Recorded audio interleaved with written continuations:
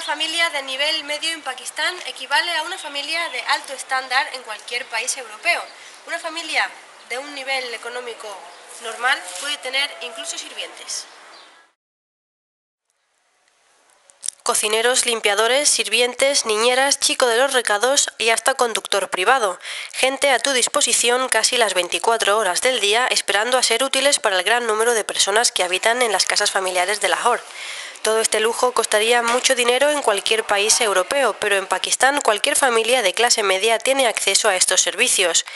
La mayoría de los sirvientes tienen su propia familia y regresa a ellos al finalizar su jornada, pero algunos de ellos, como este chico, viven en la casa permanentemente. Tiene tan solo 15 años y lleva trabajando casi la mitad de su vida.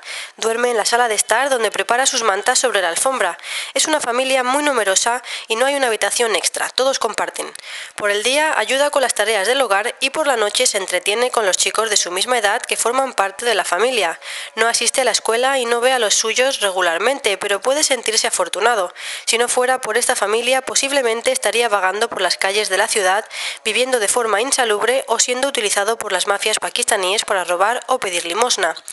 Aquí tiene ropa y calzado, un lugar caliente donde pasar las noches y comida para alimentarse, que es mucho más de lo que muchos chicos de su misma edad podrían tener.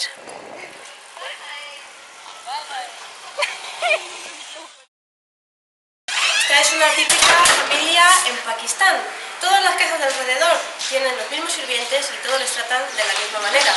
Si no fuera así, esta pobre gente estarían tirados por la calle y quién sabe cuánto tiempo tendrían para sobrevivir.